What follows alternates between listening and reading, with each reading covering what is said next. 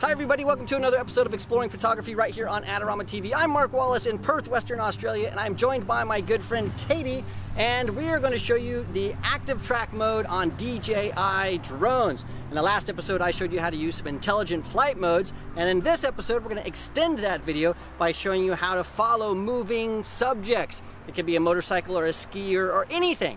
But in this episode, we're going to keep it simple. I'm going to have Katie running, well, walking and running around this giant park to show you exactly how easy it is to get spectacular shots. So let's get to it right now. To start active track, first we hit the robot on the left-hand side and then click on active track.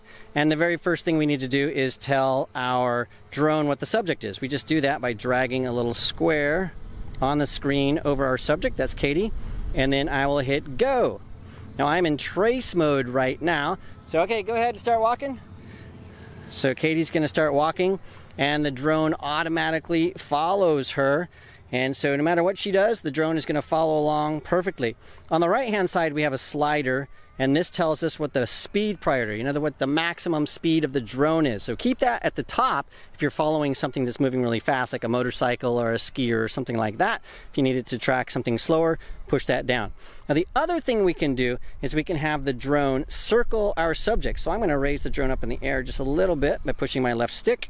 Notice that the drone automatically tracks as I'm moving it. And then I can tell it to start rotating to the right and it will do that.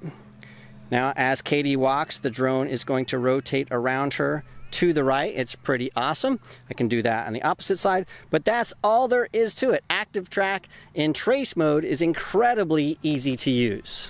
Let's take a look at profile mode. Again, we hit the robot to get into our active track mode.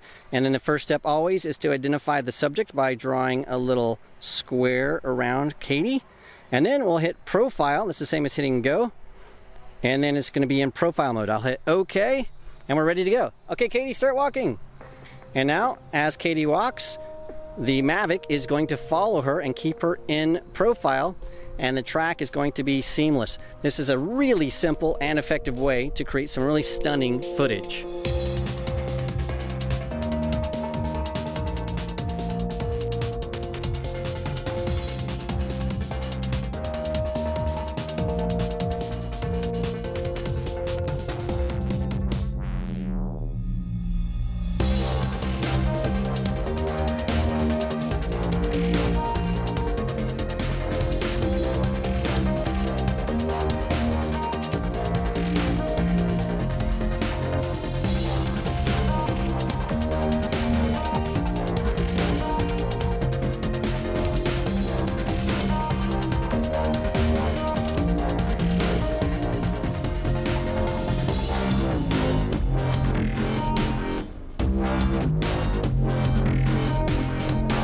Well, thank you so much, Katie. That was awesome. Thank you so much for joining us. Don't forget to subscribe. Click the subscribe button. Also, follow me on Instagram. We'll see you again next time.